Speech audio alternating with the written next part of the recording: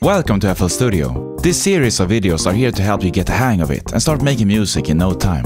You can watch them as a series or dive in where your curiosity takes you. But first, let's show you around.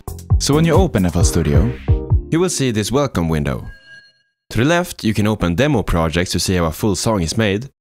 Or to the right, you can browse through different templates to use when creating a project.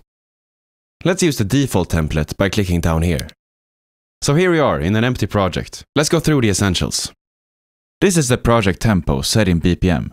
This stands for beats per minute and sets the speed of your song. The metronome here just to the right can help us hear the tempo. Click and drag up to increase the tempo, and drag it down to decrease.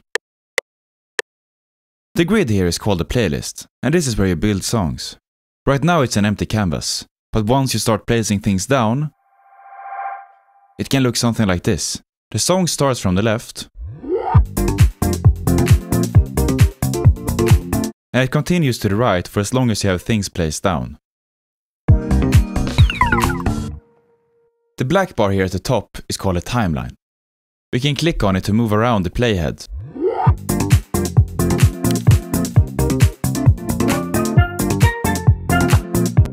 And of course you can press space to play and space again to pause.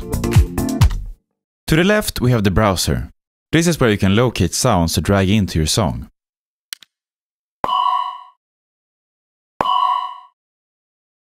You also have the project tab where you can find things connected to your current project. The plugins tab, this is one of several ways to add instruments to your song. And we have the sounds tab where we access FL Cloud. This is a big library of royalty-free samples and sounds. If you can't see the browser, you can open it with the browser icon, this one. You can also resize the browser by dragging on the edge of it. This goes for most windows in FL Studio. Now above the playlist we have lots of different buttons and icons. But for now, let's focus on these four.